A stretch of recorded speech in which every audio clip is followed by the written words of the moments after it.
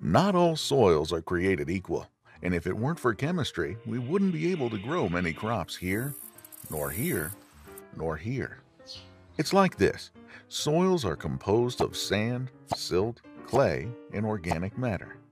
Some have more sand, others more clay. Each soil's unique blend determines its color, texture, and storage capacity for nutritious chemicals. Although incredibly small, nutrients still need their space. And by space, we mean the area surrounding the soil's tiny particles. Keep in mind that surface area is not the same as particle size.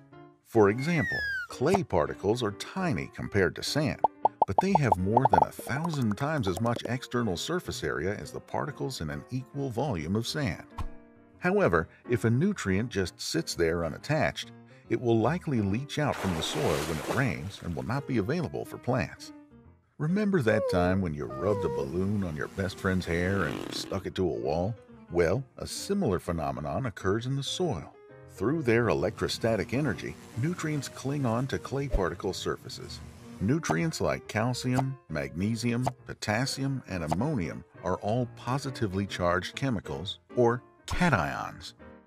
And as it turns out, most clay particles and organic matter in soil are negatively charged.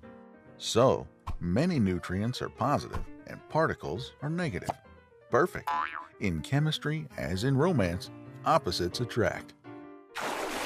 Good, no more leaching.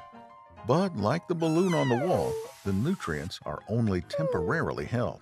In fact, there's actually a shell of water molecules that forms around the cation preventing it from bonding permanently. This shell is often called a hydration sphere, but that's a whole other video. So, back to cations.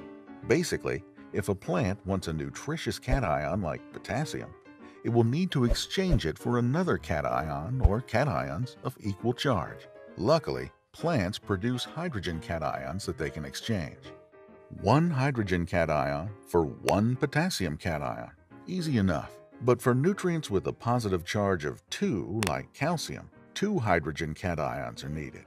The higher the positive charge, the harder it gets to exchange or trade cations. That's because a cation with high positive charge and small size is preferentially held by the soil over those with lower charge or larger size, meaning that a large cation with a positive charge of 1 will be the first to be released. A divalent cation having a charge of 2 will be released more easily than a cation with a positive charge of 3.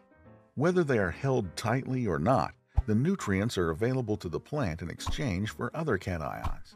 Not all nutrients are cations, however. Some are actually negatively charged compounds, or anions. Since anions, like nitrate or sulfate, have a negative charge, they are unable to attach themselves to negatively charged particles and, as a result, leach out when watered. Of course, all soils are different.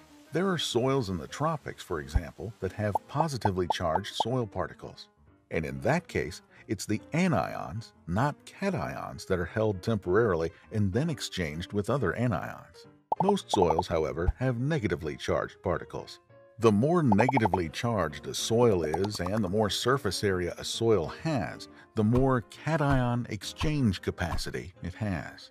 This is such an important factor for plant growth that scientists measure a soil's cation exchange capacity, CEC, in order to help farmers determine how much and how often fertilization is needed.